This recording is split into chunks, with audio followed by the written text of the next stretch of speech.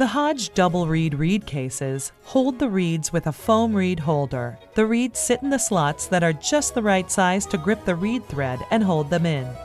In addition, a foam strip is seated on the lid and comes down over the open slots when the case is closed.